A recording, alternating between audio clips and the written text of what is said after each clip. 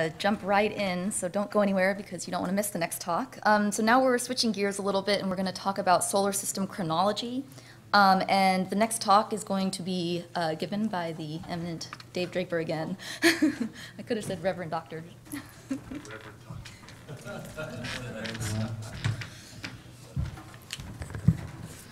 I'm back. No, I promise this is the last talk I'm getting. You don't have to hear me again.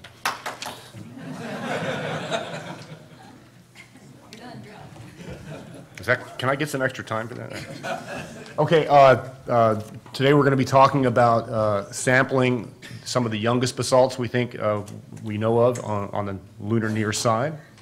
Uh, Before I do that, of course, I have to give Sam equal time. The reason he's not here, young Master Lawrence here, uh, Sam just texted me a little while ago to say that Kyle is already doing his first digital elevation map, so he's, Apple's not falling too far from that tree. So here's an outline of where we're going. We're advocating a sample return from some of the youngest basalts in Oceanus Procellarum. Uh, The mission would provide calibration uh, for model surface ages, and, you know, we all talk about an elevator pitch for, for mission concepts and so forth. This is, I don't even need an elevator ride, this is a bumper sticker pitch. Go, get the youngest basalts, bring them back, measure the ages, fix the crater count curve. That's it. Um, In addition, when you bring those samples back, you get information on composition, mineralogy, textures, physical properties, in addition to the radiometric ages. And this will help us understand not only the chronology of of the, uh, of the moon and and the sur- uh, lavas exposed on the surface, but thermal and magmatic evolution over time as well. We reckon that terrestrial laboratories are the best place to do this, just because of the precision that we can bring to the problem. This is a, a photograph of our, our landing zone that we're going to be looking at in a little more detail in the you know, subsequent slides. It's south of the Aristarchus Plateau. We've had a lot of talks about this region uh, for other, other purposes here in the workshop. Um, The main thing to take away from this image is just, uh, it's a very benign surface on which to land. Now, we all know space flight is hard. Landing a, a spacecraft on another world is hard. But within that realm, this landing site is probably the least challenging in the solar system. So it's, uh, and fortunately, it has uh, some great stuff to tell us. And not so far away from here, of course, there are a couple of U.S. spacecraft still sitting on the lunar surface. This is Apollo 12 landing site, and on the other side, uh, Surveyor 3, uh, which they named this Surveyor Crater. So we've done this. We'd like to do it again. Um, We think this is something we can definitely do. Uh, It would not take a huge amount of additional instrumentation and uh, spaceflight hardware development. Um, The Russians have done it three times. Now, let's, let's give Sam a little slack here for his third bullet. He's maybe a little grumpy. He's got, he and Julie have a newborn at home, don't judge. Um, But, you know, we should be able to do this. Um, We also want to keep up this momentum that, that is, is, we're all enjoying right now about the moon. It's a great, uh, strike while the iron is hot. Uh, We're leveraging data from LRO, as I mentioned in my little uh, spiel before I gave Julie's talk. It would also establish a capability for powered descent on airless bodies. All these things extremely valuable. Our notional uh, mission concept, as I just said, has a very clear objective. You can put it on a bumper sticker. Um, It will give a very unambiguous result when you bring those samples back and measure the ages and their compositions. And uh, it it is not just applicable to the moon. It is going to help us understand the history of the entire inner solar system, any rocky surface. As we all know, the lunar crater count curve is the only game in town for estimating the ages of exposed rocky surfaces on, on these planets. It's used on Mercury, it's used on Mars, they used it on Pluto, I mean, yet they tweaked it and so forth, but um, this, this needs to be uh, addressed.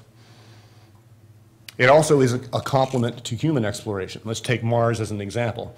Um, When, when it is finally decided that we're going to put humans on the Martian surface, absolutely crucial fact we're going to want to know is, how old is the surface we're going to put those astronauts on? And again, because we have this somewhat uncertain uh, uh, chronology curve using crater size frequency distributions, um, the uh, uh, uncertainty on the age of, let's say, a, a billion-year-old surface or a billion and a half-year-old surface on Mars right now is about a billion years, and we'd like to know that age to a whole lot better precision than that. Okay, it is also, this concept is also responsive to many of the community's goals. It's a comparatively low-risk, high-reward mission. Um, It addresses numerous priorities in the scientific context for the exploration of the moon document, for the decadal survey, for uh, PSD and uh, SMDs and and the agency's science plan. Uh, There's a few bullet points here that list some of the ways we do this, understanding the evolution of lunar interior, understanding the, the flux of Mare volcanism through time, uh, and uh, improving the absolute chronology for the inner solar system, as I was just saying. Okay, um, we're arguing that this is best done in terrestrial laboratories, with all due respect to my, uh, the, some of the talks that are going to follow this one, advocating for in situ work. Um, uh, because we can do such more precise measurements in terrestrial laboratories, uh, we can, we can get that ball further down the field. Um, Also, bringing the samples back gives us access to some of the features that are impossible to do in situ, the really, really high-resolution stuff. Um, Everything from solar wind implantation and the development of nanophase iron, uh, development of patinas on uh, particles exposed at the airless body's surface. These are things that you've just got to do in terrestrial laboratories. It's ground truth for orbital measurements, as we all know. That's uh, one of the great things about the rich samples and data sets we have from the moon. There's, it's possible to correlate all these things. Um, We can uh, take advantage of additional analytical techniques as they're developed. We- We've all seen uh, in recent years how that has uh, happened with uh, measurements of water in both picritic lunar glass beads and within uh, minor phases like apatite. And, uh, you know, the gifts to keep on giving. Anytime we can dream up something new to interrogate these samples about, they're right there waiting for us. And, of course, uh, uh, the expertise and of JSC's curation uh, group is a testament to the fact that we are still making these uh, amazing discoveries 45, 50 years later is um, a testament to the skill that they do that. Yeah, I know I'm biased, but again, I'm, I'm also right. Uh, This is a fairly clean version of a diagram we've seen several times, the, the crater count curve. It uh, shows the uh, size frequency distributions of particular uh, uh, craters here on the vertical axis against age along the horizontal. And uh, this is, just has one curve drawn in it. This is from Stoffler and Ryder in 2001. We've seen versions of this diagram that have all the families of curves on them, right? And you can see, big hole in- right here in the middle. If we had a really well-determined data point somewhere in there, we could eliminate many, many curves from the families of permissive solutions to this, uh, to this set of data. Okay, well, anything else on see here? Right. Well, also, and that we don't know the uh, young ages here as well as we know some of these other ones. Also, we don't have a representative uh, uh, collection with respect to the compositions. And we now know from our remotely sensed data sets that have been acquired in the years since Apollo that uh, there are compositions on the lunar surface that we don't have uh, in our collections. Pink spinel, you know, is a great example of that. Um, It's a, and we all know that these are the windows into the interior of, of the moon, or any uh, planet. And this is going to help us ground truth remote sensed uh, observations. We've seen this map before, too. This is from Harry Hiesinger's work, showing some of the uh, mapped uh, uh, lava flows with respect to their ages. Uh, The one that we're going to be focusing on here is in the bright orange. This is what Harry has termed P60. Uh, We've seen uh, other ways of estimating this map. I believe Junichi showed uh, a a diagram similar to this one, and the- the the numbers are different, but it still comes out as one of the youngest ones. And uh, as I showed in that early uh, image of our our target landing zone, it's really, really benign. Uh, Compositionally, it's very heterogeneous, or excuse me, homogeneous. Um, The the upshot there is we could probably get away without having to do really high-precision landing.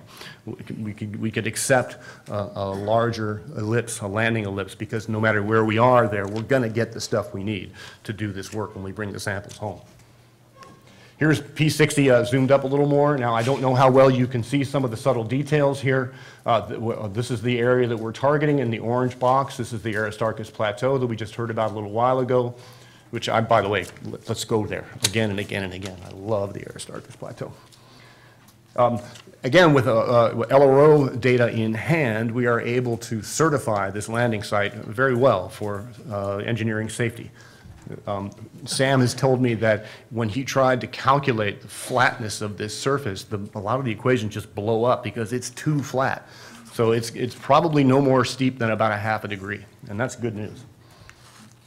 All right, here's another image uh, without the, um, without the outline, and this shows the, the the little white circle here, the uh, area that we're trying to target. Again, I doubt you can see this in the brightly lit room, but it's uh, in between some prominent rays coming off the plateau here. Now, of course, we're gonna, we're gonna get fragments from Aristarchus, but those should be um, straightforward to identify in comparison with the Mare basalt that will make up the bulk of the return sample. So the goal here, our mission philosophy is to, and we've been working on this for a couple of years now already, is to uh, uh, submit this as a discovery proposal. And uh, obviously, doing sample return on disco dollars is a challenge, but- and we're working that really hard, and uh, we hope to be able to give a green light to go ahead with this very soon. Um, However, in order to do that, that means you have to live with a, a very simple uh, spacecraft. Um, No Christmas trees here. You have one job, land, pick up the stuff, come home. So we can do this with a single landed element, with an automated uh, sample collection and return capability. Uh, The near side landing site is, is helpful for executing uh, the, the- the mission. Don't need a relay satellite. Um, We can, of course, we want as much sample as we can carry, but we can get away with hundreds of grams and still uh, answer the scientific mail here. And we can do all this in less than one lunar day. Uh, Our mission concept would propose landing in the early lunar morning, uh, doing all the work and and launching the return vehicle uh, before lunar noon. So we wouldn't have to worry about getting through the hot part of the day, nor would we have to worry about um, going overnight. And I think I have just my last slide right here. Um, we think that this is a a comparatively straightforward mission. It's very valuable. Obviously, we're not the ones who, who first realized that we really need to fix the crater count curve by measuring the ages of the youngest basalts. Um, But we think that we can get this done in a relatively cost-effective way. It addresses many fundamental planetary science questions. Uh, We have the data in hand from LRO and other assets to really understand the landing site, and the science implications for doing this are not just for the moon, but they'll help the entire inner solar system's uh, understanding. So, on behalf of Sam Lawrence, I thank you.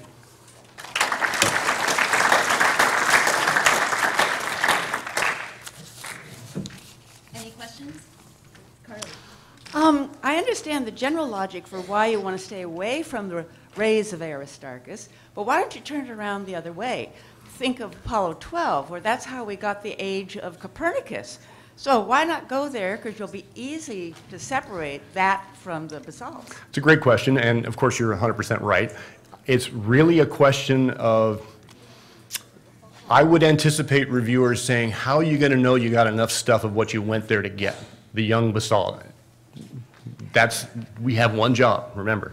However, I would argue that I think we'll probably get some of these other lithologies in there, and we all know how much we can extract out of really small pieces of material from elsewhere than the spot it's collected, right? So that's kind of, that's kind of where our our mindset is. Yeah, and also that site, part of the selection of that site is that it's a, a, a perfect calibration for the CSFD collecting the craters. If you go somewhere else on there, then it's contaminated by secondaries. So that was part of the logic for picking it there, is that, you know, the, the key science goal here is calibration for the CSFD. But- Yeah, but you're also, you have to get your crater counts, right, right where the sample came from. It's a bit anal retentive. And probably if what you said, you went over there and you just say, well, we're gonna take the count over here and assume the units are the same, you're probably okay, but that's just, I'm not advocating either, but that's part of the logic. Yeah, well, me too, me too. But it is really, we want to be, we all know how hard it is to get selected in, in these, in these things. And so we want to, we want to have a laser focus on the goal.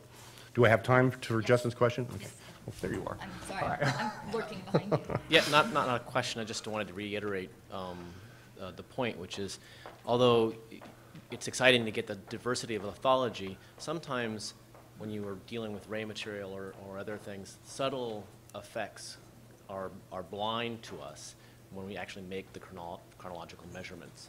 And so, having the purest, cleanest sample and a bunch of examples of that, bunch of examples of that is, is going to give us a more robust, and more confident age uh, constraint. So if that's the number one goal, that's what we want to do. A more complex. uh, It, it, it's- it's easy, it's not easy to separate subtle cryptic effects. What he on- said. isotopic measurements. Great, thank you. Thanks. All right, now that Dave has captivated you all in this new topic, I'm going to take just a second to introduce myself before our next speaker. Um, I'm Debra Needham. I'm at Marshall Space Flight Center, and I'm a planetary scientist trained in volcanology, but I love all of these sites, and we definitely need to go to all of them. So with that, I would like to uh, introduce our next speaker, Dr. David Kring, and he'll be talking about uh, landing at lunar impact craters and impact basins to determine the bombardment of ancient Earth. Thank you, Debra. Um, So I want to not advocate a single uh, landing site uh, here. I want to talk about a class of landing sites um, for the commercial providers with the hope that they can uh, implement uh, this type of concept. And the idea is to collect impact uh, lithologies and bring them back to Earth. So this is a sample return uh, mission concept. Okay, so I need to, I want to be, for this audience, I'm, I'm trying, I'm not trying to assume you know too much uh, for the commercial providers, so I want to actually start with some basics about lunar history. Uh, you can put together lunar history in a couple of different ways, and, and the first way that we approached this in the pre-Apollo days was using an orbital perspective, and we provided, we were able to obtain a history from, I hate this thing, um, From the bottom of the diagram are the oldest part of the lunar history, to the top of the diagram is the youngest part of the lunar history. And this history was put together by um, stratigraphy of overlapping impact ejecta blankets and lava flows and the relative densities of impact craters on surfaces. The older the surface, the more craters that are on it. In parallel with that, you'll see the uh, chronology that we have for the Earth. Uh, Jack Schmitt yesterday made reference to a period of bombardment being equivalent to the Hadean on the Earth, and you can see at the bottom of this diagram, uh, the lunar diagram and corresponding Hadean period uh, on the Earth uh, diagram. Okay, so there is another way of addressing lunar history, and that's to go to the moon and collect samples. And so here's Jack collecting a sample. Uh, and you bring them back to Earth and you begin analyzing uh, the ages. Now, there's two classes of, of impact lithologies uh, that were brought back. There were some lithologies that we have tentatively uh, linked to specific basin forming event, events. Uh, and what I've listed here are, in stratigraphic order, um, are events uh, from, again, the oldest, Nectaris, in this diagram, to Orientale, which is the last of the basin-forming impact events. And the, the first thing I want to point out is the size of these impact events, okay? So these are, these are 300 uh, kilometers in size to 1,200 kilometers in size. And you're going to say, well, what does that number mean? Well, just as a reminder, uh, Chicxulub, the dinosaur-killing impact event that wiped most life off the planet of the Earth, is a puny 180 kilometer impact. So these are monster impact events that were affecting uh, the lunar surface and by proxy, uh, the Earth's surface. Now, uh, because of the careful sample collection that was done, um, we think we can assign some samples to some of these basins. And I want to first of all point out that this is a historical chart. This is actually about 20 years old. Uh, there is some discussion as to whether, for example, Serenitatis should be in this uh, location in the diagram. And these ages are the ages that we had about 20 years ago. We're still fiddling with these ages uh, and, and as techniques uh, to analyze the samples uh, improve. Okay. The other way of addressing this is to simply analyze every single impact melt sample you can get your hands on in that collection and then plot up a histogram. Uh, and this was also done uh, here, for example, some Apollo 14 ages, some Apollo 16 ages, 17 ages, all in argon-argon, and then some rubidium strontium ages on the bottom. And uh, on this diagram, 4.4 is on this side and 3.6 is over here. And you see there's kind of a spike. There's a pileup of ages around 3.9 to 4 billion years ago. Uh, and this was uh, recognized by Grenville Turner in the argon-argon system and then by uh, Jerry Wasserburg's group in the uranium-lead system. And it was inferred from this data that there was a lunar cataclysm, an intense period of bombardment on the lunar surface. And they called that the lunar cataclysm hypothesis. And so diagrammatically, that's what this looks like. This is a plotting of the flux of impacting asteroids and comets as a function of time uh, from now, initially, when the Earth and the Moon was forming, the impact rate was high, and then it fell off at some uh, point uh, to where it is today. Now, based on the Apollo samples uh, that were collected, there was this spike. And I have to say, we still argue about the magnitude and duration of that spike, which is why you see three representative curves here. Now, for the astrobiologists in the audience, this is really an intriguing event because it immediately precedes the earliest isotopic evidence of life on our planet, so that begs the question, is there some connection? Okay, so uh, uh, I proposed many years ago what I call the impact origin hypothesis. The largest of these basins would have actually made uh, conditions for life completely untenable at the surface. The seas would have been completely vaporized. There would have been a rock vapor atmosphere. Life simply could not have persisted. On the other hand, these very same impact events would have produced vast subsurface hydrothermal systems, which would have been perfect crucibles for the early evolution of life. And why might we think that that's a suitable place for life? Oh, before I get to that, uh, just to illustrate how bad it was on the Hadean earth, uh, this is a, a movie that uh, Simone Marchi did for us when he was an intern, I mean, a, a postdoc funded by uh, NLSI and or SSERVI, I don't remember which, uh, working with Bill Bottke and myself. This is, if you map what happened on the moon to the earth, this is the early earth. This is the Hadean.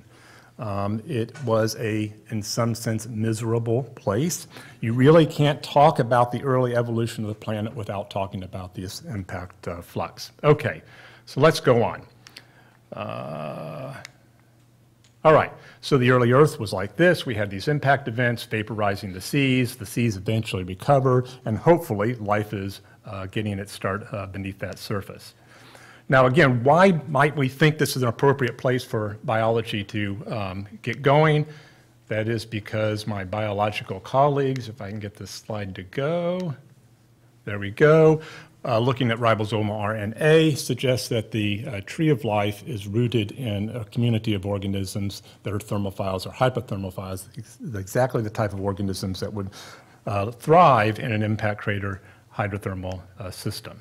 Okay, so that's all a lot of supposition on a wonderful data set uh, brought back uh, by the Apollo astronauts, but we're still working in the state of poor environment. We really need to get back to the, surface, to the lunar surface and bring back samples to test this in greater detail. Okay, so this is not something um, uh, I'm, I'm making up. This is something the community has long realized. You heard about this yesterday.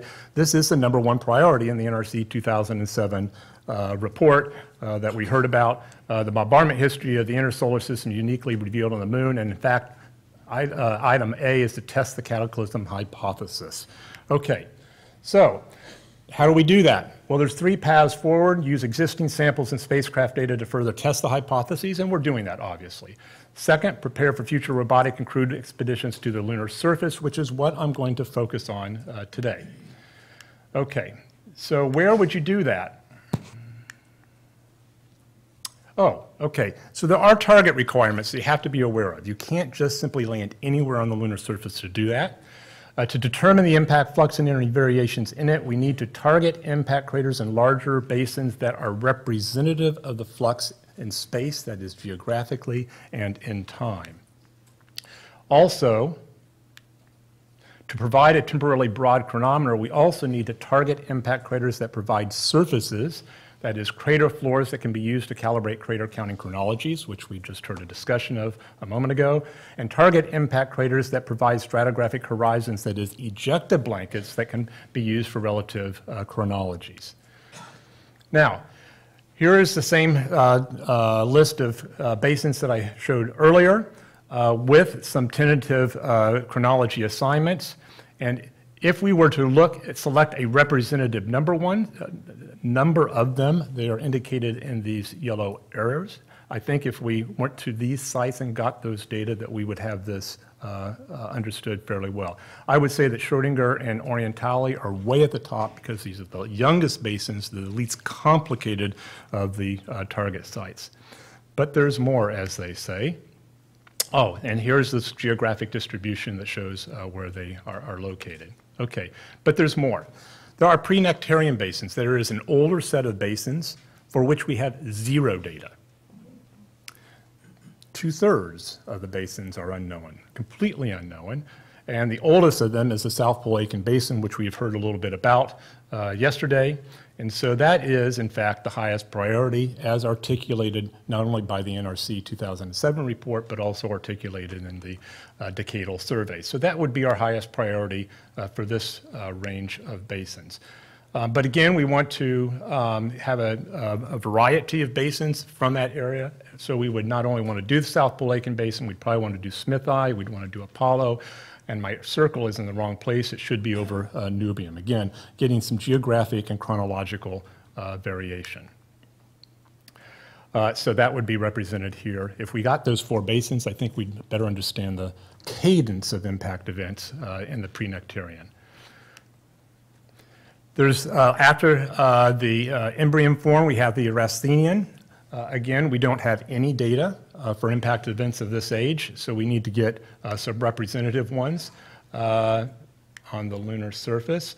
Here's, for example, are five that would, I think, uh, help us determine the cadence during the Eratosthenian. And these, and then finally, we have the Copernican.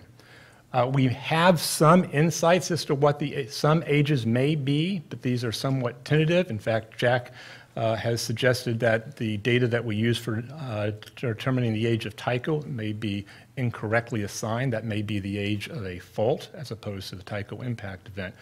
And to say this another way, to say this another way, the A, in this period, um, We only have one uh, single impact event that is relative, wait, let me say that another way. During the Phanerozoic, when complex life evolved on Earth, we only have one lunar age, and that's maybe, that's Tycho. If Jack's right, we don't even know uh, Tycho. So there is a lot of uh, uncertainty with regard to the chronology in the last uh, billion years on the moon and therefore uh, on Earth history. So we would want to look at a series of them uh, and I think uh, nail that down. Okay, so in conclusion, representative complex craters and multi-ring basins can be sampled to test the lunar cataclysm hypothesis. I didn't go into this, but this really is an inner solar system cataclysm hypothesis. It's just not the Earth and the Moon. These samples will provide a measure of the impact flux and its variations throughout lunar history. These same impact sites will provide an opportunity to explore the crust of the Moon in the form of exposed cross-sections. It's another facet that I didn't go into because of time. Uh, But the punchline, I think, is, I think would excite the public, something that the uh, commercial uh, providers could uh, uh, take advantage of, is that these same uh, sample return missions will provide a window into the events that shape the geologic and biologic evolution of our own planet. Thank you.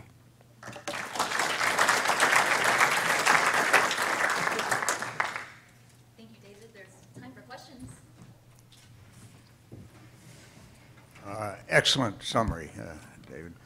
I just would, I keep trying to, uh, without much traction, uh, bring to the attention of the community the vast importance of clay during the Hadean as a potential scaffold for the organization of complex molecules, and a way in which complex molecules, at least broadly distributed, can survive that kind of uh, impact flux that we see for the Hadean. Uh, The other thing is that I, I- I really would like people to start to consider and uh, evaluate whether or not Procellarum is not the oldest basin.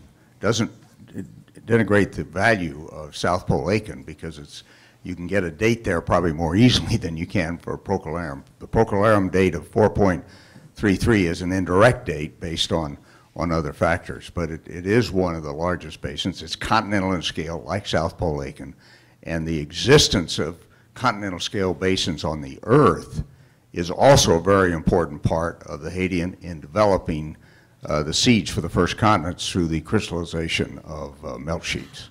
Yeah. Okay, so there's three things there. Let me try to go through them quickly. Uh, I agree with uh, clays, but I would uh, suggest that clays actually might be uh, catalytic um, materials in a different way. These hydrothermal systems would have generated um, uh, clays such as montmorillonite-like clays. It's something that we actually see in the hydrothermally altered rocks beneath Chicxulub. And Jim Ferris, who used to be, uh, who's since passed but was funded by NASA, found that the um, uh, structure, the crystalline structure of montmorillonite actually catalyzed uh, a lot of um, uh, nucleic type chemistry. Um, So it would be, that would be chemistry that occurs in the subsurface as opposed to in a shallow coastal sea type environment. Well, clays are going to form in, everywhere. Mm-hmm. I mean, if- and very rapidly in a water environment. We know that, surface as well as at depth. And so it may be hydrothermal, it may be at the surface and moving around.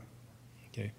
Um, With, with regard to um, procellarum, I I have no, um, I I have no, I take no uh, sides or issues with that. Although I will say that I have an, I have an alternative hypothesis for the 4.32 uh, to 3 point, 4.35 billion year old age. We've suggested that the South Pole Aitken Basin created a magmatic epoch at the antipode on the near side, and so that the zircon ages that we see that spike there are actually a reflectant of South Pole Aitken Basin.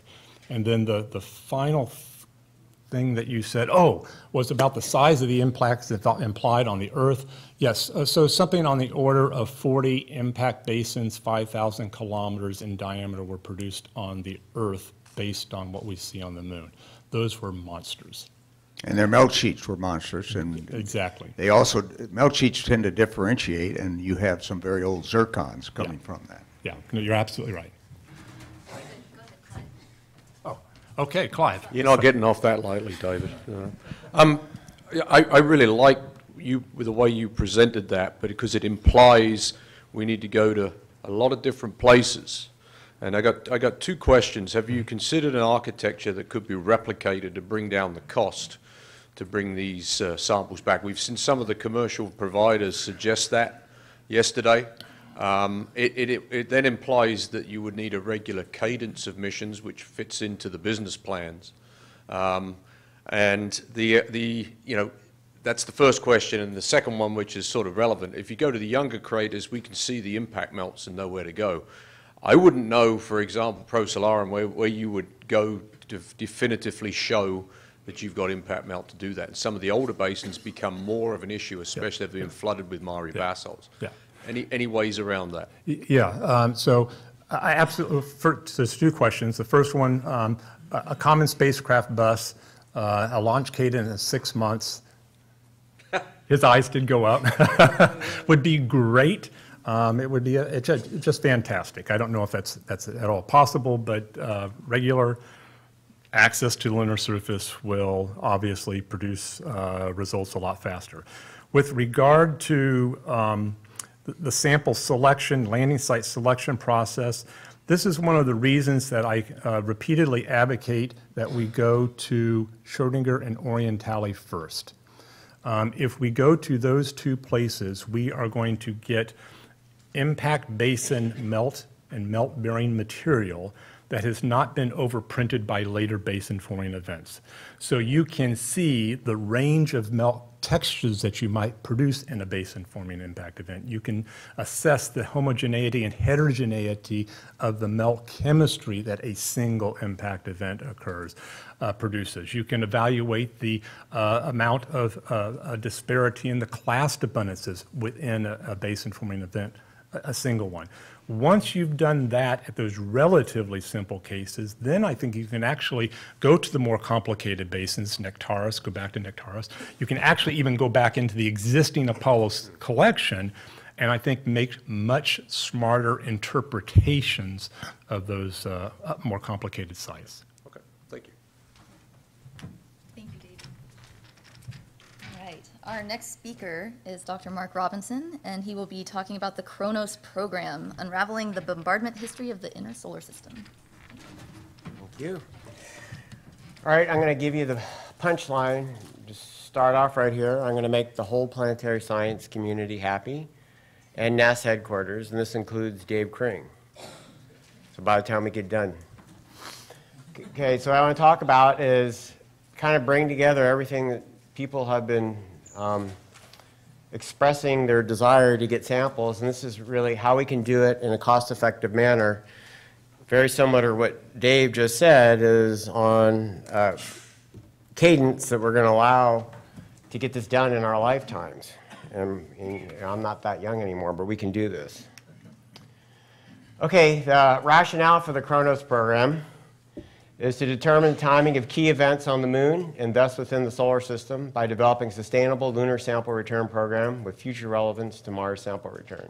See, we're even going to make the Mars sample return community happy. Um, the need is to understand conditions within the early solar system and the evolution of the moon. Our goals, well, we have a primary goal and a secondary goal, just keeping it simple here. Determine the age of formation of key landforms on the moon over a approximately 4 billion year period. It's a pretty impressive goal right there. And this will provide, by providing calibration points for the lunar cratering chronology, which are missing for uh, events greater than 3.8 billion years and for that broad period of 3 to 1, and I would argue that maybe even down to zero. And well, we, right now we have unequivocal samples uh, many large basins, or we don't have them in, in, in the collection, and we will um, fix that. Secondary goal is to determine the geochemical evolution of the moon over time. And these goals will be met through the following objectives is overarching and develop a cost-effective robotic system to collect and bring samples from multiple locations with return to Earth from a lunar orbiting asset. And that's the way we can make this happen, is we don't have to, every sample, have a return capsule, EDL, parachute, so on and so forth, which is what kills you in terms of mass and therefore cost. So the way we're going to do this is we're going to land safely and accurately within plus or minus 100 meters of the assigned target, collect appropriate sample for ra- radiometric age dating, store the sample in a sealed container, return sample to Earth in a pristine state, but really return it to uh, lunar orbit to be collected. Okay, this is potentially the most important plot in planetary sciences. I think we've seen some version of this in two, if not three talks already today. It's the lunar cratering chronology. Um, what you see in the background is, as presented in the review by Stoffler and Ryder, 2001, and then uh, corrections have been made since 2001, um, in 2006 and 2012. Of course, most of you know this originated with Neukum and co-workers, and it's been getting tweaked ever since. Uh, it was pointed out, um, I think Dave did earlier, that there's this uh, large hiatus of data in here, but we actually we're not sure that we're actually identifying the basins correctly up here. Okay. So, you know, the challenges that we're facing right now is the assignment of current samples to specific basin events, the effects of target properties, uh, including self-secondary cratering, on the crater size frequency distribution of young craters. Uh, the chronology, the existing chronology is best defined by Fra-Mauro, Descartes, Mare basalts, and Copernican craters. Um, but we do, there is the extreme view that some take, and it's completely plausible, that we really only know the age of one basin on the moon, and that's Imbrium. Okay? I'm agnostic on that. If Paul Spudis were here, unfortunately, he walked out of my talk. Um, but this is, you know, supporting a recent paper that he came out with. Okay, uh, and I don't really need to tell everybody here, but I'm going to anyways, the importance of crater size frequency distributions for getting, uh, and combined with the samples to get model ages. Um, this is a map that I think Dave also showed in your talk, right? Uh, culmination of 20 years-ish of Harry Hiesinger's work, uh, counting craters across Mare basalts, coming at crater size frequency distribution, so on and so forth. Um, but the assignment of absolute ages to these um, units, which are defined by uh, other means, by uh, remote sensing data, really depends on the precision and accuracy of the chronology function. And, and I would argue right now that there's way, way too much interpolation and extrapolation in these absolute model ages. It's not a criticism of the work that was done, it's just the lack of uh, definitive calibration points. So let's take care of that. So the basic concept of operations for the Chronos program is from lunar orbit, land precisely and safely, obtain and seal the relevant sample, document the sample area in the simplest way possible, and that may just be through photography, return the sample to an orbital asset for eventual Earth return, refuel that vehicle, and repeat and do this 10 times, 12 times, whatever we can engineer. And there's rumors that we're going to have assets in lunar orbit, be it Orion or this deep space gateway. Um, and so I would encourage the deep space gateway people right now to think about an orbit that's optimal for rendezvousing with uh, something coming off the surface of the moon.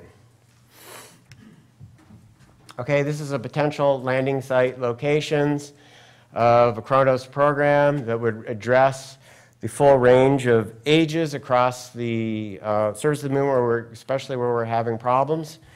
And I think I'm going to make uh, Dave really happy. Um, Schrodinger is one of the targets.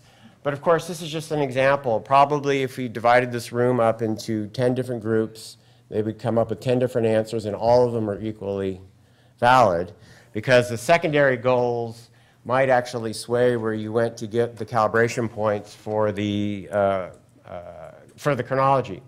And a key point of picking the sites is that it's a good place to take, you know, to, to collect the, the crater counts, right? Because that's our, remember, that's our ultimate goal, is, is really nailing that crater size frequency distribution and going somewhere where you can definitively get the sample. And that's been talked about in a number of uh, previous talks, um, like Art Schrodinger. You can land on with an exposed melt sheet.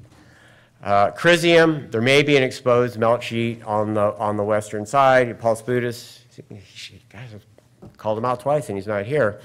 Although there is some equivocation whether that's really an exposed melt sheet or not. You cannot, Chronos program cannot successfully go to complicated sites like Taurus That's where humans are going to go. So we would work in conjunction with whatever Actually, maybe at the end of the session today, Jim Green can tell us about what the future funding profile is like for lunar exploration, right? So this is just a map of that table showing the locations where I picked these uh, sites where we can actually go and get an easy sample. And it's got to be an easy sample. You set a, a lander down there, it has a scoop, maybe a sieve, puts it in a container, brings up 500 grams to a kilogram to orbit, and then uh, the, to keep it simple, the orbital asset would even grapple it. Because if you go and put a docking mechanism on this thing, the mass goes up, the cost goes up, you know, mass is everything. Okay, uh, what is the value of return samples? I'm not going to even talk about that, right? Because I'm talking to, preaching to the choir here. So I just wrote this, uh, see other talks at this meeting. The SCEM report, the NAC meeting report, Planetary Decadal Society, so on and so forth. Finally, corner Clive and ask him if sample return is useful. Yes. Okay, but you guys corner him and get that, you know, up close and personal, okay? So what kind of constraints are we talking about here? Well, of course, cost is the most important one, right? And um, you should be able to, cre- to create the spacecraft for less than the cost of a New Frontiers mission if, if it's NASA-led. If it's private industry-led, maybe even the cost of a Discovery mission. It's clearly not a $50 million spacecraft. Shouldn't be a $2 billion spacecraft. But even if it is a New Frontiers mission, imagine you're getting samples from 10 places on the moon, or maybe even 12, however long it can last, okay? So the design lifetime, what's the next bullet, is I think you should have the, the design lifetime to be at least 10 round trips. Of course, you know, you've got to refuel it, obviously, um, in orbit. And you minimize the risk through minimalist design. No Christmas trees. I know the sci- planetary science community is going to want to put a bunch of stuff on it, right? But no, because the gold is the sample, not the measurement you're going to take, right? Um, and then, as I mentioned earlier, mass is everything, you know, so no extras. You know, give the astronauts in the, oh, piece, yeah. Oh, two minutes, okay. Um, I thought you were just agreeing about the mass is everything stuff, okay. So, you know, as I mentioned earlier, you know, maybe the astronauts that are in the um, Deep Space Gateway need something to do. I mean, imagine how cool it would be and fun it would be for them to have a little arm on there and they, you know, rendezvous and they grapple the thing and, pu- and put it in. And maybe even do a spacewalk and go get the container out and put the empty container in before it goes down. Okay, potential engineering feed forward benefits. Remember, I mentioned earlier that the Mars science community is going to like this, right? Um, because we can perfect autonomous hazard avoidance at the terminal stage of descent. I know some of you think, well, it's different on Mars because you come through the atmosphere and everything. But that last 200 meters is not that different um, if you're uh, designing a spacecraft that looks for hazards and avoids them. Perfect sampling and sealing operations and the technology that goes along with it. Perfect return capsule capture by an orbital asset, which is oftentimes hinted as a part of a um, Mars sample return. And this would be either hu- human or robotic control, you know, from lunar orbit. And you know, I just wanted to point out, and, and almost all of you cannot see the bottoms of the slides here, so I'll just read it. A single Mars sample return mission is estimated to cost between 50, I mean, between 5 and 20 billion. Maybe that was a Freudian slip. Maybe it will be 50 billion. Um, and so we better get all this stuff right because we can't screw up at Mars. Okay, uh, so what is the value of the Chronos program? Well, better known sample provenance. Um, we can expand the calibration of the curve, not really expand it, but just complete it all the way from uh, yesterday back to uh, 4 billion years. Explore the target property and self-secondary effects uh, in the areas where we count craters. So therefore, all of our crater counts everywhere else on the moon, Mars, Mercury become more valuable. Um, solve this question that's been elucidated in a couple of the talks about the uh, when and how long did, it, did we even have a cataclysm? And then the geochemistry we're going to get from this. You know, I'm not a geochemist, right? But imagine the geochemistry and all the advances we're going to make about how the moon uh, formed and evolved over time. And then, of course, the technology development for all sorts of other missions down the road. And it's a perfect complement to this human return to the moon, especially if we can utilize the Deep Space Gateway or some other long-lived asset in lunar orbit. So the final question I will close with, which you can't see right here because it's blocked by the tables, is how could we not proceed with the Chronos program? I think that was the last slide. I hope so at least. Oh, no, this is the last slide. And we can figure out when did I actually form, right? Okay, that's it. Thank you.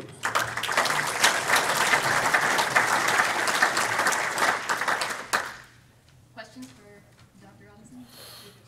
So, um, Mark, there's elements of what you just described that um, has been explored by um, ESA and its partners. Um, In fact, James Carpenter, if he's still here, mentioned it briefly uh, yesterday. This is the Heracles concept, which uses the Deep Space Gateway, uh, and a lander goes down to the surface. Um, There, and a sample is collected, in this case, it's a little more complicated mission. It involves a rover, uh, collects samples, returns them to the lander, and then the ascent uh, portion of the lander uh, goes up the Deep Space Gateway, transfers the samples into the gate- gateway, um, and in fact, the easiest way, it seems, is for the astronauts simply to grab the sample container and bring it back in.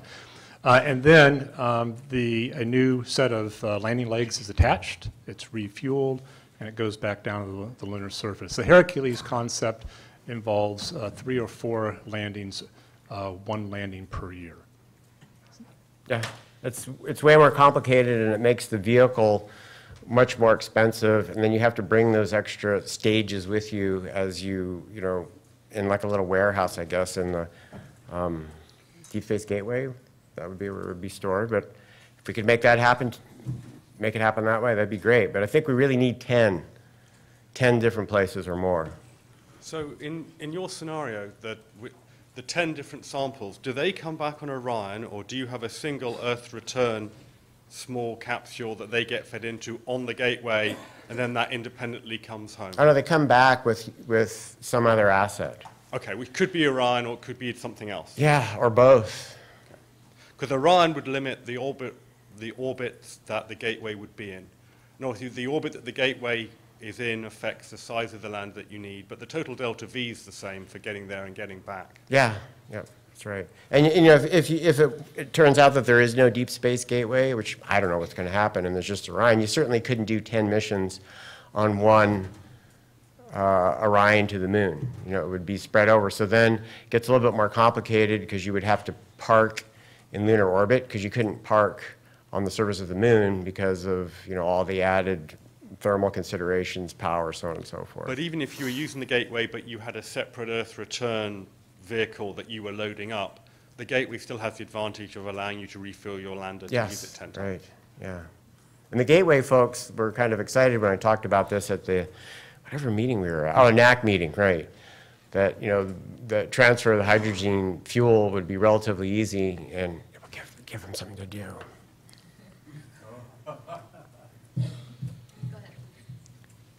So I confess I have a comment oh. rather than a question, but I'm mm-hmm. Josh Hopkins from Lockheed Martin. I just wanted to mention that we have looked at ideas like this with Orion and the Deep Space Gateway. There have been some papers we've published on the orbital mechanics of how you do rendezvous from the lunar surface up to halo orbits or NROs. And we've also looked at the mechanisms of how would you actually get one of these samples, do the, do the rendezvous and get the samples into the pressurized mm-hmm. vehicles, and where do they get stowed in Orion? So I, I agree, it's, it's a feasible approach.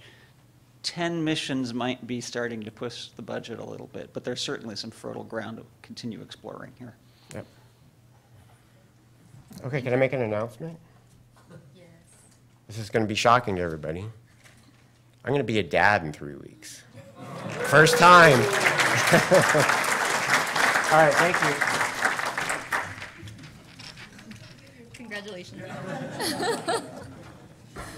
All right. Uh, So we're going to go on to our next talk. Um, Dr. Barbara Cohen is gallivanting around Antarctica right now, collecting our next samples that we're all going to be analyzing, hopefully some from the moon, um, but um, some asteroids from the moon, but uh, or meteorites. Okay, I'm going to keep going. So um, in her stead, Dr. Noah Petro is going to be presenting the onset of the cataclysm, in situ dating of a near side basin impact melt sheet. All right, thank you. I did actually just talk to Barbara uh, this morning. She called during Tim Glotch's presentation. And when, when, I guess you get a call from Antarctica, it comes up as being in Hawaii. And, and so initially, uh, when I first talked, are you sure you're in Antarctica, Barbara? She, she assured me she is. And actually, this is a picture uh, from, I think, uh, from earlier, probably last week at this point, of uh, Barbara doing just that, collecting samples. So I told her, "Y- y- we're, we're having a workshop here. You don't actually have to go and do the, the sample collection and do sample return from Antarctica, but she insisted. Um, but, but so I'm, I'm delighted to talk on behalf of Barbara. Everything that I say that's wrong is my fault, and everything that's on the slides that's correct is, is Barbara's credit. And because Paul Spudis isn't here, we can blame him for everything else as well. Um, but actually, Paul does have a lot, a lot obviously, to, uh, to add to, to the discussion here. Um, also, as a note to the, the program committee, next time, don't put the in situ age sample talk at the end of the sample return, because I think we've seen some really elegant and eloquent presentations advocating for sample return. I think that is the ultimate goal. And what Barbara and her team are advocating for is in, in the case that you cannot do sample return, whether it be for cost, which ultimately is probably going to be the one reason why we wouldn't do sample return, um, what we can do from a, a landed in situ age dating mission. Uh, With that, let's move ahead. We've heard already many uh, very good presentations about the lunar cataclysm and the- the case for un- better understanding the, uh, the timing and chronology of, uh, of major lunar impacts. Um, David talked uh, about the uncertainty in, in age dates and understanding of where some of the samples from the Apollo and Luna sample collections, what, what those are telling us. Uh, Of course, there's major implications for understanding not just the age, but what it means for what's been going on in the solar system. As David mentioned, this is solar system science done on the surface of the moon. Um, And of course, there are the, the, you know, lunar science of this scale is planetary science, is Earth science. And so understanding what was happening in our corner of the solar system at this very early stage of, of planetary um, uh, history. So, you know, we want to have a, a better understanding of what was happening on and around the moon about three and a half, or 3.9 billion years ago, and what the implications of that are for, for everything else. Okay, but of course, what if there was no cataclysm? What if we've been wrong all this time? How do we reconcile that? And so, of course, the sample work that's been going on now for the last 50 years almost um, has been um, reevaluated in some of the recent workshops. The, the you know, understanding of where samples come from uh, and, and tying the samples from the Apollo sites to their host basins has been um, an ongoing project. Of course, fraught with some interpretation and some conflict amongst the community members. However, uh, what we would like to be able to do is, is better understand the samples in situ, go to the basin instead of relying on material ejected from, from some great distance. Um, as David also mentioned, uh, this was a good, very good pre, uh, preclude or pre, uh, predecessor to this talk, was the idea that if we can get the in situ age of a particular basin, that allows us to focus our study on the samples that we have and perhaps identify those samples in the collection and give them their, their correct source. So how do we resolve this? Um, noth- nothing that I say here today or what Barbara would say in future presentations of this kind would, kind would preclude South Pole Aitken sample return. It remains one of the, the critical uh, time horizons on the, the, on the moon and for the inner solar system. And so understanding the age of that enormous basin is going to remain critical. Um, however, there are other basins that are going to represent an important time slice in, in lunar history as well. And so we focus on understanding the age of both the Nectaris and, Crisium basins, and uh, again, putting them into their proper chronological context. So as um, has been mentioned before, we, we, we believe we've, uh, or at least the mapping work that Paul has done has, has identified surface exposures of impact melt in uh, the Nectaris Basin. We've identified that here on the, in the figure. Um, there are several large uh, potential landing site sites within the, the uh, inner rings of, of, uh, of Nectaris that would provide ample opportunity for us to land and determine their, uh, the ages of that material in situ. And the same goes for Crisium, as, as um, Mark pointed out, there is some, some debate as to whether or not these are impact melts or not. Um, we can certainly discuss that and look into that further, but if, if these are indeed in situ uh, impact melts from this basin, they would provide uh, ample opportunity for us to land there and, uh, and, and date those materials. So, uh, you know, one of the benefits of, of identifying these, these uh, impact melt deposits and, uh, and identifying safe landing sites with them is that it allows us to go and, and scoop, sieve, and, and determine the, the, the ages of multiple fragments in the regolith, um, and, and, and of course come up with a, a defined age from that. Um, it's important to, to not only remind everyone, but just to really hammer home the point that these impact melt sheets are going to be fundamentally different than the Apollo landing sites were, that we don't have the, the same experience in landing in this type of environment. Uh, of course, the lunar environment we have experience in landing in, but we don't have experience in landing in melt sheets. It's not going to be necessarily the same problems that we run into. As Barbara likes to remind me all the time, you know, nobody argues that Apollo 16 didn't sample Highlands crust. There's Highlands crust they sampled there because they landed in the Highlands. If you land on MRA, uh, an impact melt sheet, you're going to get impact melt in that material. And so this uh, famous figure showing uh, with a one centimeter grid shows the, the, the diversity of materials that would be uh, scooped and sieved from, from within a regolith and would provide ample material for us to, uh, to determine the ages of um, on the surface. This is, uh, I was dutiful and Barb wanted me to show this slide. I, I resisted a little bit because this highlights work of mine from when I was a wee laddie with Carly, before the real laddie came along, I guess. Um, but it shows the evolution for a site in, in South Pole going from essentially the you know, formation of the impact uh, of South Pole Aitken through time. Barb and I have worked on identifying sort of the, the, the primary candidates for introducing material, and when I say material, that's ejecta. And we don't differentiate between ejected material and melted material ejected by these craters. It's quote contamination. Of course, this is good contamination because this adds diversity to any of the landing sites. But starting on the, let's see, house left, my right, going uh, forward in time from essentially, let's do the experiment. Uh, here we go, from 100% SPA impact melt, and it gets diluted over time. As subsequent impacts come in, it introduces this foreign material, that material mixes. As we get larger events, and let's see this works, such as Serenitatis that comes in, mixes to depth and brings up that SPA, that, that sort of basement material, mixes it and re, uh, sort of undilutes it by bringing up material from greater depths. Uh, this mixing process will reintroduce more material so we're not uh, hiding or, or, masking that original uh, SPA impact melt. So landing on an impact melt gives us the chance to get the original material, the floor material, but then as well as this other added component. And so through time, we add these major events, and um, uh, these events are going to be recorded in the regolith. And so this mixing dilution, but then sort of deeper excavation and bringing up that, that, that, that original material gives us a sense that we'll have at least 50% or more of that original floor material, that original melt sheet material uh, in the regolith. Okay, so how would we do this? And so, uh, for those of you that have heard Barbara talk over the last several years, she has been working on developing some um, analytical capabilities that we're getting uh, set up at uh, Goddard now. Uh, we're very excited for, for that capability. She's also working on uh, smaller uh, uh, instruments that can be used in an in, a in situ uh, age dating mission. So we're talking about potassium argon geochronology using uh, LIBS mass spectroscopy. Um, basically, you know, she's outlined a, a series of, of, measurements that we can do, and I'll talk a little bit about how this would fit into various sized missions. But the bottom line is that this uh, approach receive, uh, re returns a precision about a plus minus 100 to 150 million year uh, age for a, for a 4 billion year sample. Now, again, this is not anywhere near what we can get in a sample return to the Earth, but if we can land on a site, again, this would point us in the right direction of what we might look for in, our, in an existing sample collection.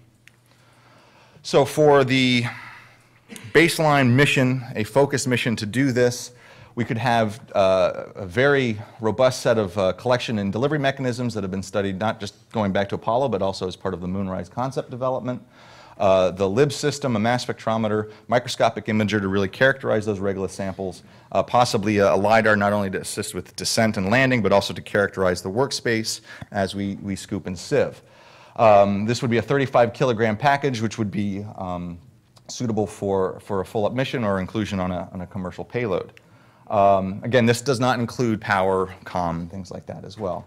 We scale that back a little bit, get down to a smaller payload for, for maybe a different type of mission, still keeping the sample collection and delivery mechanism, but again going to a, a sort of a reduced set of instruments. We have the LIBS to get potassium for chronology, a mass spec for argon, um, and a microscopic imager again to characterize the samples.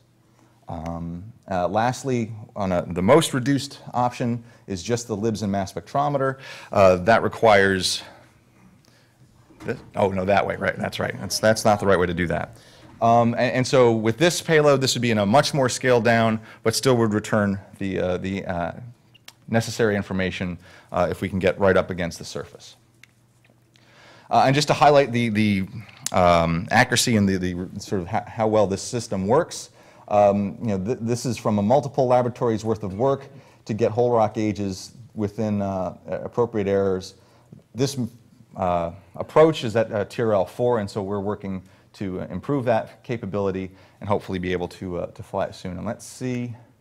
Okay, so just as a, a sort of a, in summation, you know, as was pointed out before, this is solar system wide. The implications of determining the ages of these basins has implications for the entire solar system.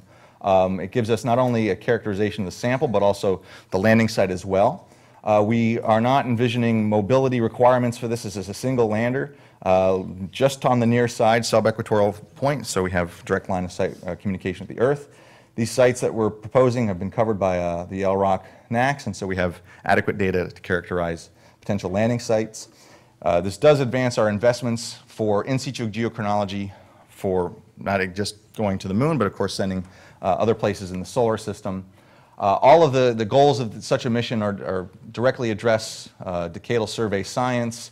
Don't have to go through this. We've almost probably at this point all memorized some of these uh, goals, but uh, such a landed mission would give us a, a really important uh, toehold in understanding not just the chronology, compositions of basalts and other material, because again, the regolith samples at these sites will give us a little bit of regional context as well.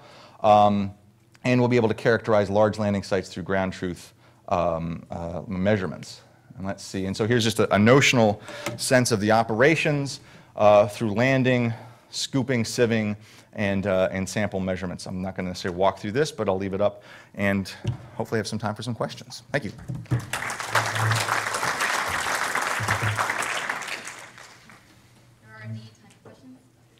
Uh, Noah, there we go. Um, you cited uh, an uncertainty uh, on the measurement uh, for four billion year age range of around, what, 150 million, something Mhm. like that.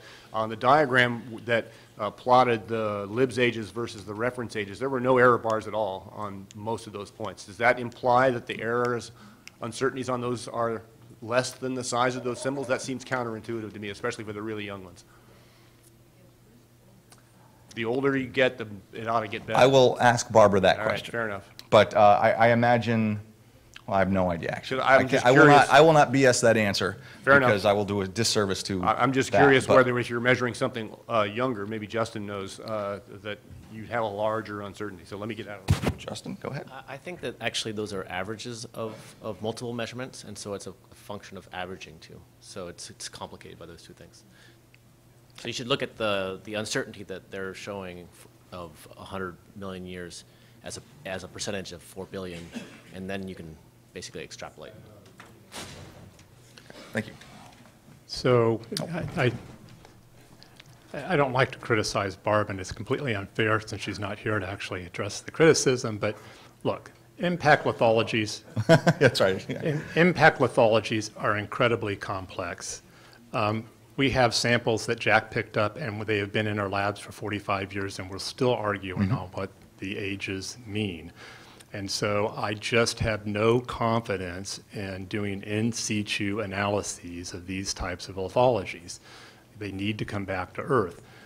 Said another way, it's only three days away. It's damn embarrassing if we can't get the samples back. I will not, uh, I will not debate that point. It definitely, uh, we've demonstrated that it's uh, feasible to do, return samples. And the Soviets have shown that you can do it robotically. And here we are, 2018, no flying cars, and still haven't been, had a sample return mission in my lifetime. And I'm not that old, although I feel old every day. It takes longer to get the rocks back than Antarctica. Harley. I, I was just gonna, I mean, I'm very for sample return, obviously, but uh, just to push back a little bit, I don't think it has to be one or the other, and I don't think that's the point here. Uh, I think this is, uh, you know, a parallel um, type of approach, and obviously, like a lot of the other discussions we've had, we're thinking about, you know, technology developments for other targets to like Mars, which is not three days away, et cetera, et cetera. So let's keep that in mind. Um, From our discussion earlier today, isn't it obvious where the best way to test this and show whether it works or not is to go to Ina? I mean, that, if it can't tell us the answer there, I mean, and, and geez, it's an obvious, and it's a win, you know, it's, it's a simple, just go do it, demonstrate it. Great science, and and then you can refine it if you want to, but, you know, all we need to know is yes. Yeah. It's not rocket science, except that it is. But it's not. ET rock science. It's rock science. Um, I, I just want to, do we have time? Or, I, don't- we do? Well, Speak, come, tell us, So- share your thoughts, session chair. So very, very briefly, um, I have some bad news. Our next speaker is ill. So the good news to soften that blow is that we can use this time for discussion. So continue.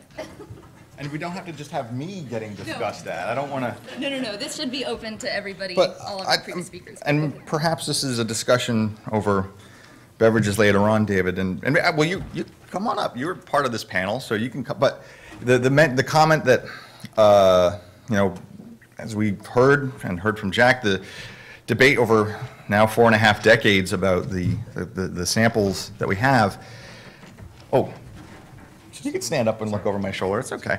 Um, I would make the argument, and and Barbara wanted to make the argument, that these, you know, exposures of impact melter are different contexts than what we explored uh, in Apollo. If we sent Apollo 17 to one of these deposits, we wouldn't be having this debate about the age of these basins, but, but we didn't. Did really well. So I would, I would say yes, if you went to Schrodinger or you went to Orientale, I think you can make that argument. You go to these ponds of Crisium and Nectaris, I think the argument is harder to make because a lot more impact history has occurred after those events. I mean, Apollo 16 was supposed to be Nectaris ejecta, and it looks like it may be Imbrium ejecta. Okay, that, that means Imbrium ejecta is probably on the ponds that have been mapped as Nectaris impact melt. You know, we, what the proportions are, I don't know, but it's going to be messy again. And doing that robotically in situ is a recipe for an uncertain answer, and we have had 45 years of uncertain answers. I would really like to get definitive answers and start to retire the uncertainties on these hypotheses. So, um, to, not to stop the discussion, but I want to encourage, um, some of our commercial people here, if you have any questions that some of these talks today so far have engendered in you, please feel free to get up and, and ask questions specifically on, you know, if, if you need some in, information that we're not providing for you, please get up and ask those questions. This is a good time to do that. Okay, Clive?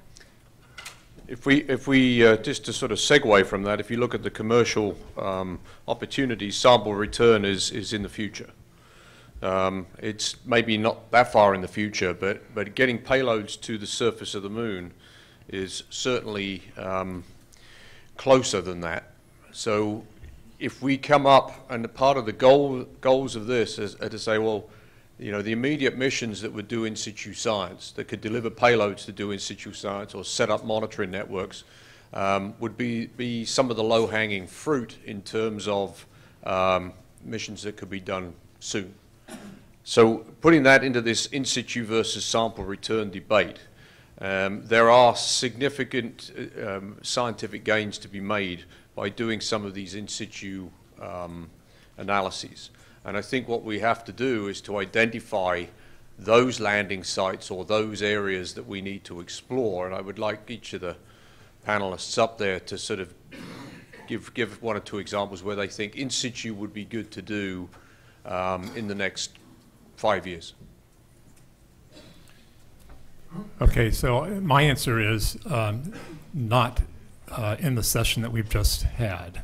My answer for in situ science is to do volatiles. That's, it's volatiles you want to do in situ. You don't want to be collecting the sample, go through all the trouble trying to bring it back. I mean, eventually we do. But you, you, mass spectrometers are relatively easy instruments to build. They've been on a lot of different spacecraft.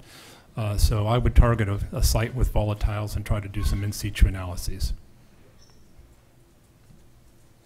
I agree. I mean, I just gave a talk about in situ age, so I'm not going to throw Barb's presentation or my presentation under the bus, but I think, I mean, th- there's a number of questions, and maybe we could do, you could, you could go to one of the, the uh, uh, silicic features that appears to have an enhancement in, uh, in hydration. Get, I mean, a different flavor of than polar volatiles. You can go to the pyroclastic deposits. I mean, all of, the- you can It's- make it- an it's- argument, it's as, as Mark either- said, we could get ten different places that we want to go. Right, But it's not an either or. But, No, but, but let's, let's, let's think about this in terms of in situ science. What's a home run? Volatiles, we've heard. All right? We've heard Ina would be a place Mm-hmm. to go to answer the question. That's my answer. All right? And that's, uh, and so Noah, don't waffle. I- Ina is my answer. I mean, obviously, I- I'm involved in both of those concepts that I talked about in my, when my surrogate talks. Surrogate was a great word, by the way. Uh, So it's, it's low-hanging fruit, as you say. Carly hit it, the nail on the head. Ina, you go. It doesn't matter whether the uncertainty is 150 or 400 million years old. You're going to know whether it's ancient or young. Box check. Yeah, I, I mean, and, and certainly for understanding the thermal history of the moon, it'd be nice to know. We always worry about the right-hand side of any time plots for future missions. What about the right-hand side plot of volcanism on the moon? That would be important. But um, I, whether it's chronology or volatiles, you know, I, there's maybe not a, a center of that Venn diagram, but I think if, if I had to do it, I might go for a, a, an in situ volatiles uh, measurement.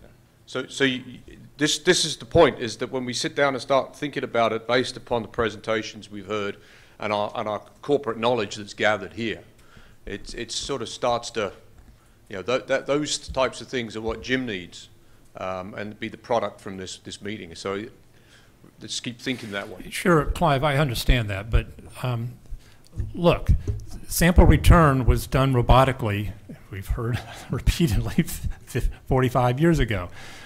We shouldn't put that too far down the road, okay? And I am very worried that if we just simply make a list of things to do in situ, we are never going to start bringing samples back. You are, you, you're, you're missing the point. Of course, we, we, we want samples. I want samples. We all want samples. But the thing is, is that We need to have, this, this is our in situ list, this is our sample return list for things to do, places to go. We've got justifications for the in situ. We've got great justifications for the sample return. It's not an either or. It's, it's not kicking the can down the road. No, no, no. We, we, we've got to, we come up with options because this addresses not only the science, but the exploration no, goals. No, I, I disagree. I mean, having spent a little bit of life in business, what you're, you're, you're going to be driven by the market. If the market is going to be satisfied with you simply doing lots of in situ science, you're not going to be investing in the technology to bring the sample back and get the price down on bringing the sample back. No, you're not. Okay. uh, I'm going to suggest slightly thinking differently about the entire subject. Uh, What this discussion is, is basically rationing scarcity. Sample return missions are expensive. Uh, The amount of money that Jim and SMD has is limited.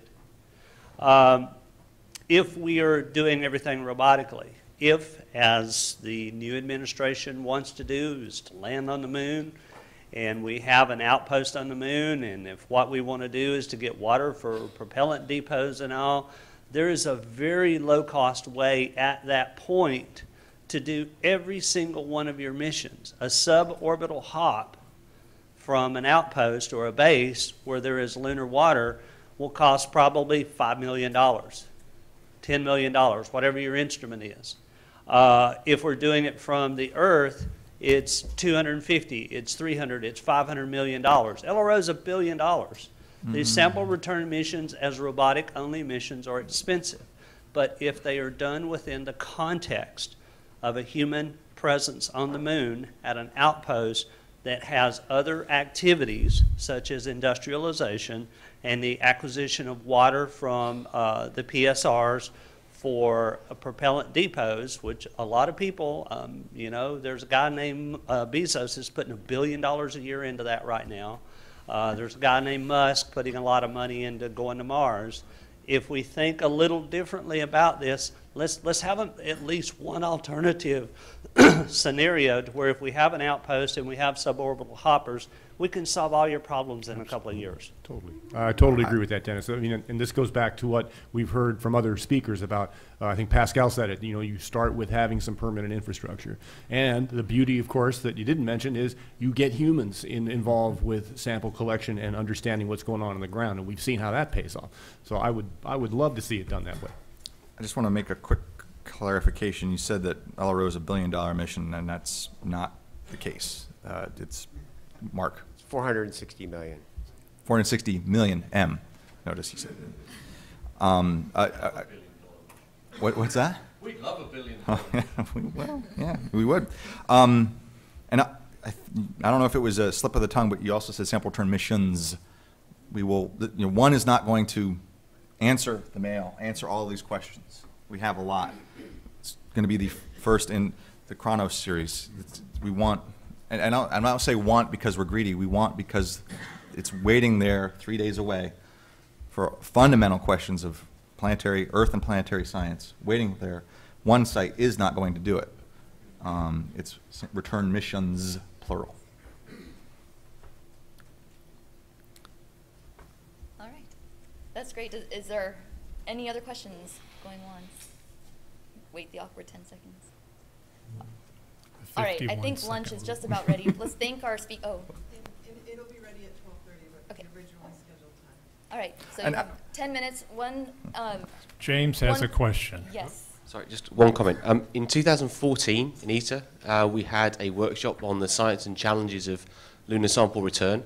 Um, just because my office is full of them and I need to get rid of them, I bought a bunch of the pamphlets that we produced afterwards with me to distribute. So in the poster room, I put a bunch of them on a table, and um, so help yourselves. Great, thank you, James. And I have one other announcement to make. Um, we still have four lightning round talks this afternoon, slots that are open.